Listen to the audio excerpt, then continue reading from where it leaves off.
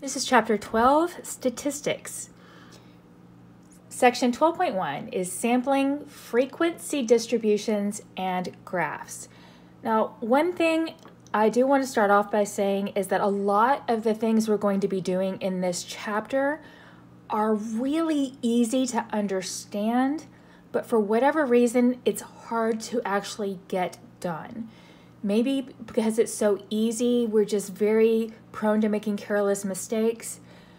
But I have worked every problem I assigned to you guys, and I have figured out some tricks to help keep you from making those mistakes. So I'm going to be sharing those as we go along. Okay? All right. A quote you probably heard at least part of before.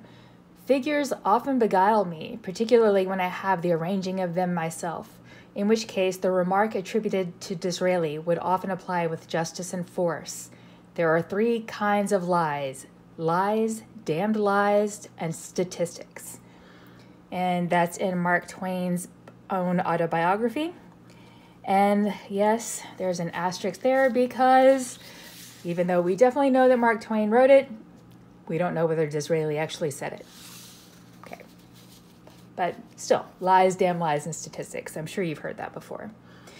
There are a lot of ways in which statistics can be used to obfuscate the truth. Sometimes the statistics are wrong, but more often it is how the information is presented that causes the problems.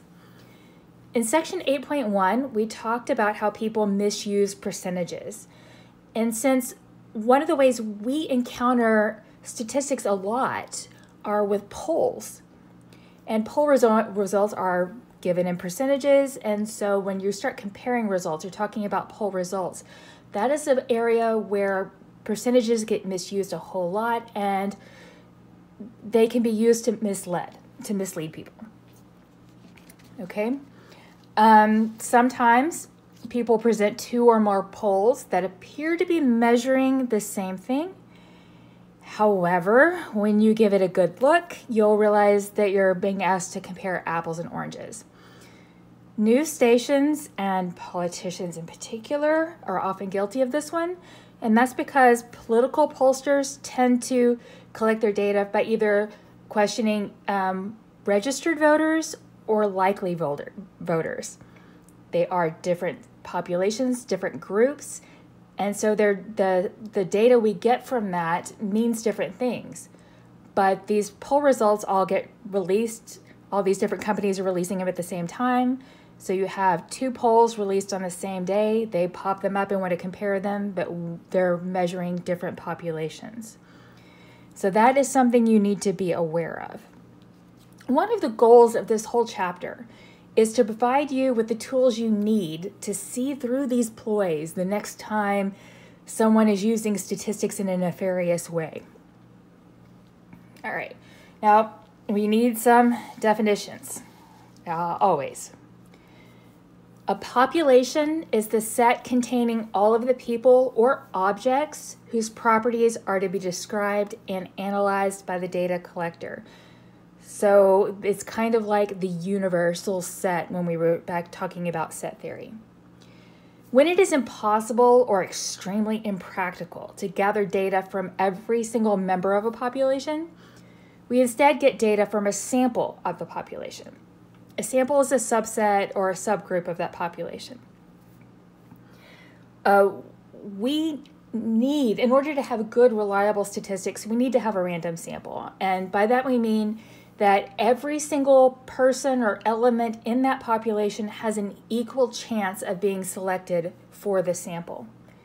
We have to make sure that we're picking people in such a way that everybody has an equal chance and then ideally of what technique is used to create uh, to get a random sample we really want it to be a representative sample of the target population the sample should exhibit this, the characteristics typical of those possessed by that target population.